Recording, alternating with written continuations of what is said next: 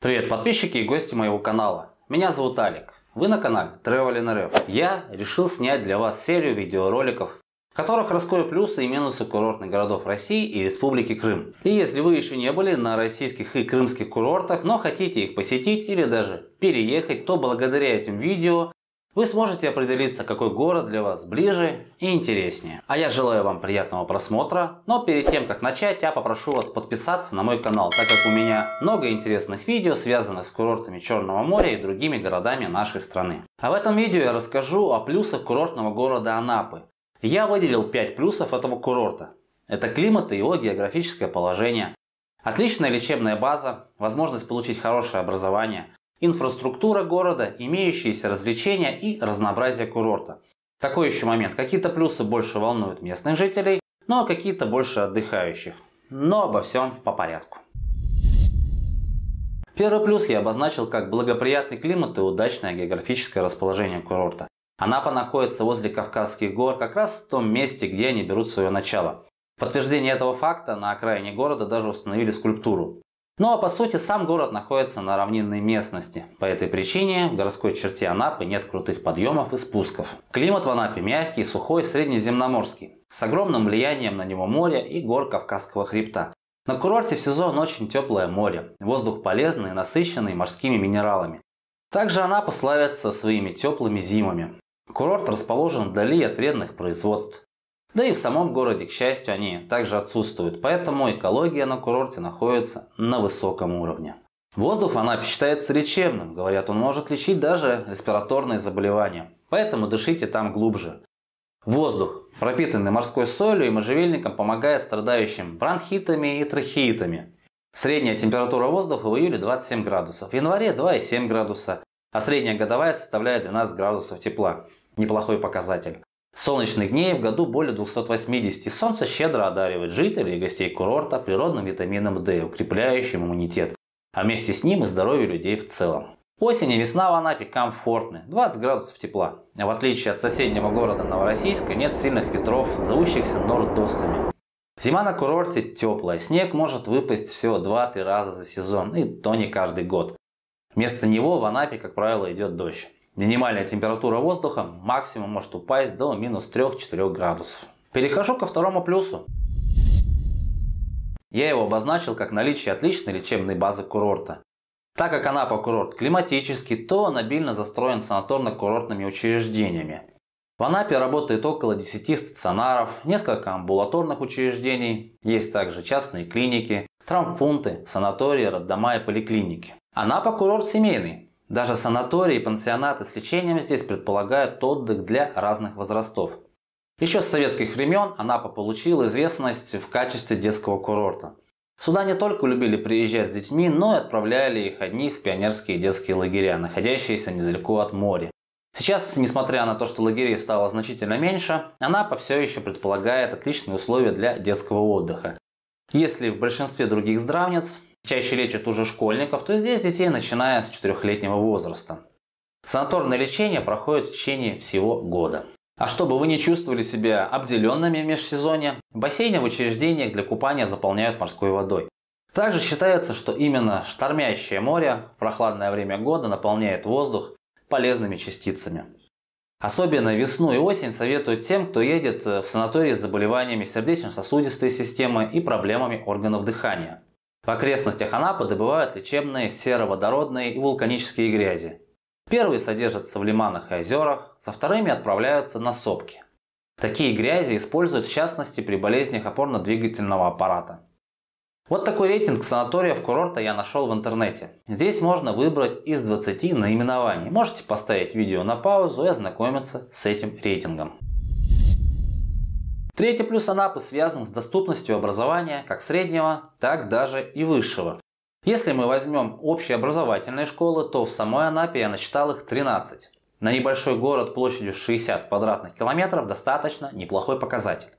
Разумеется, в каждом населенном пункте Анапского района есть своя школа. Правда, читая некоторые комментарии к другим видео по данной тематике, я понял, что некоторые школы работают в три смены. К сожалению, я не могу проверить эту информацию, Поэтому, если вы что-то знаете об этом на личном примере, напишите, пожалуйста, в комментариях. Это будет полезно знать как для меня, так и для других людей, кто посмотрит это видео. Анапа продолжает расширяться и предполагается, что в каждом районе новостроек есть или планируется своя школа и детский сад. Но тут всегда есть нюанс. Возможно, при покупке жилья в новом микрорайоне застройщик вам будет сладко петь о том, что будет детский сад, школа, но верить ему или нет? Нет.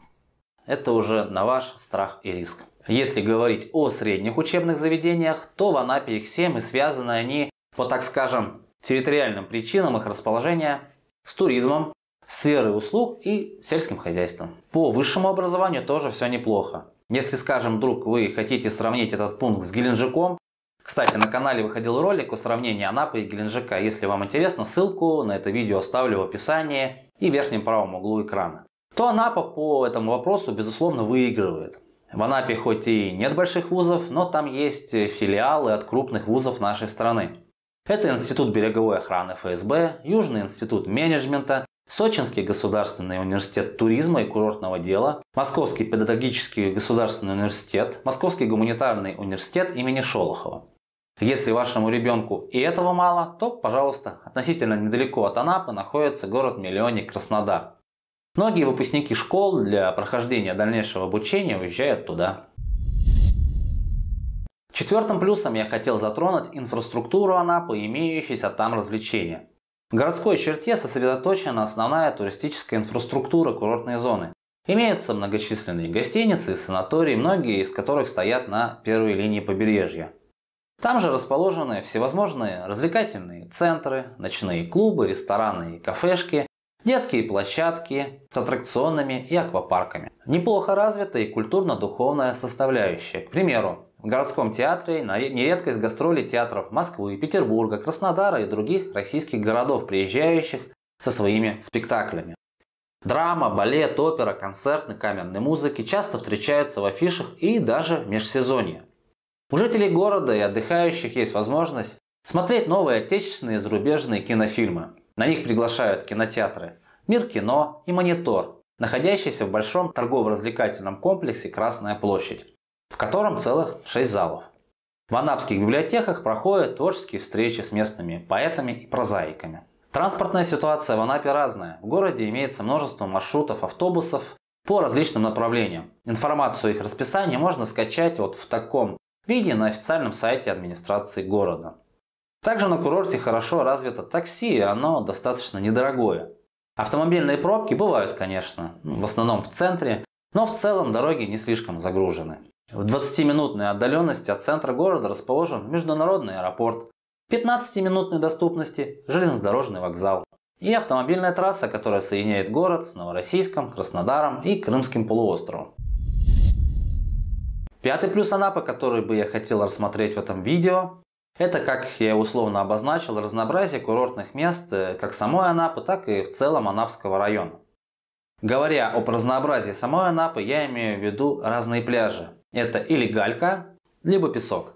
Если вы предпочитаете гальку, то вам на пляже высокого берега, расположенные в восточной части города. Но если вам ближе к сердцу песчаные пляжи, то вам малую бухту, расположенную рядом с высоким берегом, или в большую бухту.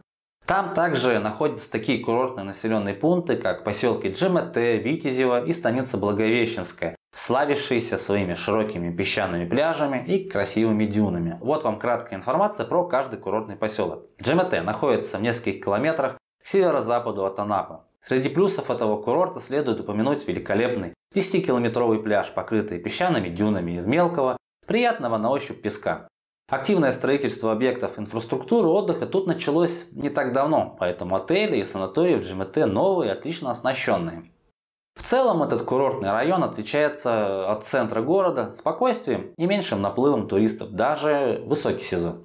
Благодаря этому GMT отлично подойдет для тихого семейного отдыха с детьми. Витязева следует сразу за GMT. Главная его достопримечательность – это великолепный пляж протяженностью 15 километров. В поселке имеется большое число вариантов для проживания, начиная от крупных отелей и заканчивая комнатами в частном секторе. Местные прибрежные воды неглубокие, отлично прогреваются, что способствует отдыху с маленькими детьми. Благовещенская – самый отдаленный курортный поселок, входящий в туристическую зону Анапы. От центра города его отделяет 25 километров. Он расположился на другой стороне песчаной косы. Отдыхающих сюда притягивает живописная природа, замечательное побережье, покрытое кварцевым песком. Подведя небольшой итог, скажу, песчаные пляжи в Анапе в целом протянулись почти на 40 километров. Не стоит также забывать и про уютный поселок Большой Утриш, где расположено достаточно пляжей, а дорога туда удивит каждого своими завораживающими видами с возможностью осмотреть местные пейзажи со смотровых площадок. Ну, а если вам и этого мало, то, не доезжая до Большого Утриша, можете заехать в Суко, где расположено волшебное кипарисовое озеро, на котором кипарисы растут прямо из воды. Так что выбор в Анапе в этом отношении просто огромный, на любой, так сказать, вкус. И еще по пятому пункту. Это доступное расположение Анапы по отношению к другим городам, которые вы также, возможно, захотите посетить. Скажем, решите вы глянуть на Крымский мост то, пожалуйста, всего 2 часа в пути и вы на месте. Новороссийск 1 час 10 минут и вы там. Правда, до Краснодара придется ехать подольше, более 3 часов, но такое же время придется потратить и из Геленджика. Так что это тоже, я считаю, вполне приемлемо. А на этом я заканчиваю. Надеюсь, данная информация будет для вас полезна. Спасибо за просмотр. Пожалуйста, оцените мои старания. Подписывайтесь на канал, я выпускаю часто актуальные интересные видео. А чтобы их не пропустить, включите колокольчик. Сейчас появятся ссылки на другие интересные видео. Если хотите, можете глянуть их. До свидания.